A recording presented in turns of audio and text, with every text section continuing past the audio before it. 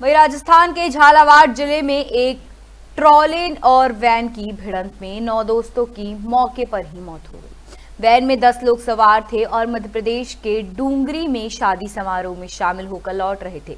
हादसा ज़िले के अकलेरा थाना क्षेत्र में शनिवार सुबह तीन बजे भोपाल मार्ग पर हुआ। सूचना मिलते ही पुलिस मौके पर पहुँची और वैन में फंसे घायलों को नज़दीक के सामुदायिक स्वास्थ्य केंद्र पहुँचाया। यहाँ डॉक्टर ने नौ लोगों को मृत कर घोषित कर दिया। वही एक घायल का इलाज किया जा रहा है।